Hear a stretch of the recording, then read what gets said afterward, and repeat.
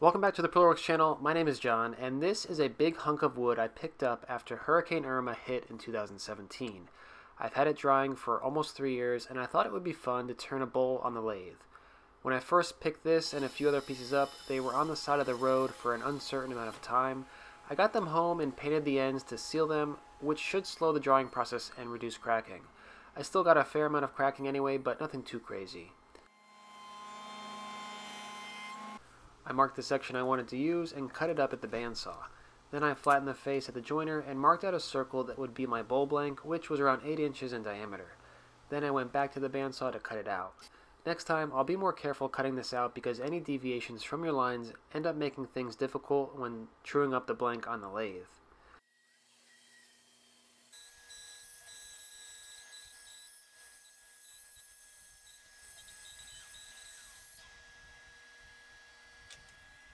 I filled some of the cracks with tinted epoxy, and for small fills like this, a little bottle with a precision tip is really useful to prevent excess epoxy from getting everywhere.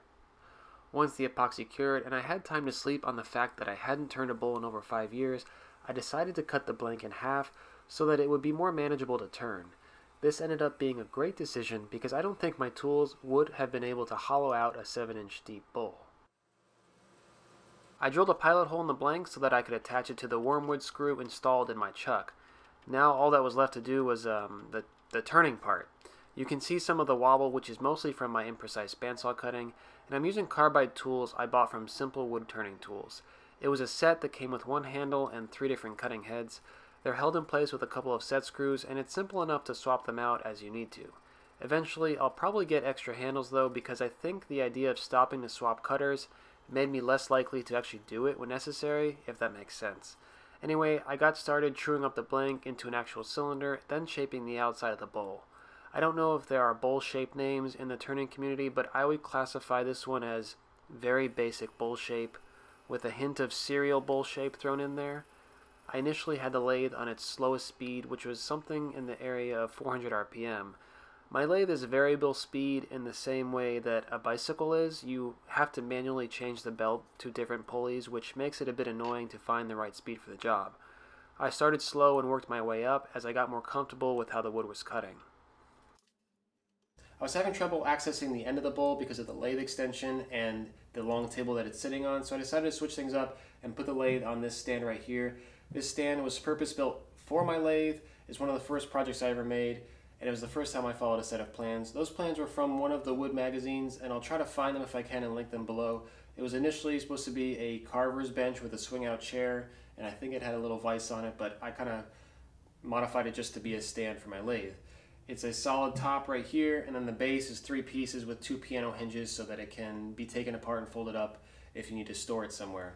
There's some complicated joinery on the underside that I added for I don't know what reason. There's like a separate mortise and dowel for each corner, and it was really complicated and over-engineered. This top has expanded because it's the summer and it's really humid right now in South Florida, so this was a pain to get on here. I really had to pound it with the mallet, and I may have ruined some of the interior mortises here, but that's okay. When it's winter again, I'll uh, reassess and see if I can fix those. But uh, yeah, let's get back to it. I found a write up of the bench plans on popular woodworking, though for some reason I think the actual article was in a different magazine. Either way, the page is linked in the description below, and reading over those plans, I wasn't the one that added that joinery, it was just a part of the plans, but I still think it's a bit over engineered. Nonetheless, it was a useful project and has been a great little stand for my lathe, joiner, and bandsaw over the years. I use the square roughing tool to cut a mortise or recess that the chuck can hold on to when I hollow the inside. After a little bit more shaping, I can then move to sanding. I had a pretty decent tool finish on the outside of this bowl, so I started at 150 grit and worked up to 320. I added a coat of walnut oil and the figure in this wood just came to life. I'm not sure what type of wood this is, but this piece in particular is really, really nice.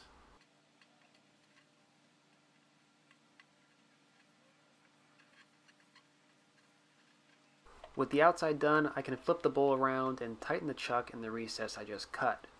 I used a 3 8 inch drill bit and the Jacobs chuck to drill a marker for the depth of the bowl. From there, I started to hollow it out. This whole thing went better than I was expecting. This lathe was the first woodworking tool I ever purchased. I started out like most, making pens and small items. I even tried a chess set, but after making five of the pawns and seeing slight deviations in their shape, I got frustrated and kind of just lost interest. I turned maybe five or so small bowls, but never got good at it. I mention this because if you have a lathe or want to get one, turning a bowl like this is very doable and not quite as intimidating as it can seem. I will say though that I really need a curved or bowl tool rest. I was having trouble maintaining leverage on the tool when reaching for certain parts of the bowl. The tool rest is straight and can't give me access to all parts of the bowl, and because of this, in addition to me being rusty, the tool finish on the inside was nothing to be desired. I started sanding at 80 and worked my way up. The inside still has some tool marks and a few ridges, but hey, I'll get better next time.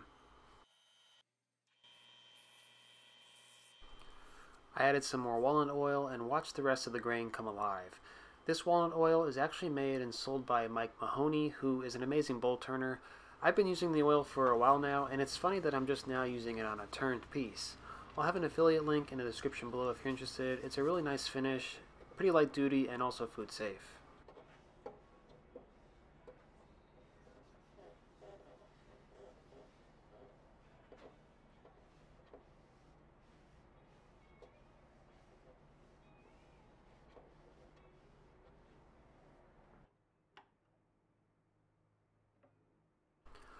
With the bowl done, I popped it off the chuck, recovered the lathe in shavings, and got ready for some glamour shots. I've always looked at turning as its own defined subset of woodworking. It's this unique skill that is both easy to be okay at, but really hard to be great at. I say that because I consider this stepping a bit out of my comfort zone. It's fun to do that every now and again. Projects like this can kind of clear your head and just be for the fun of it.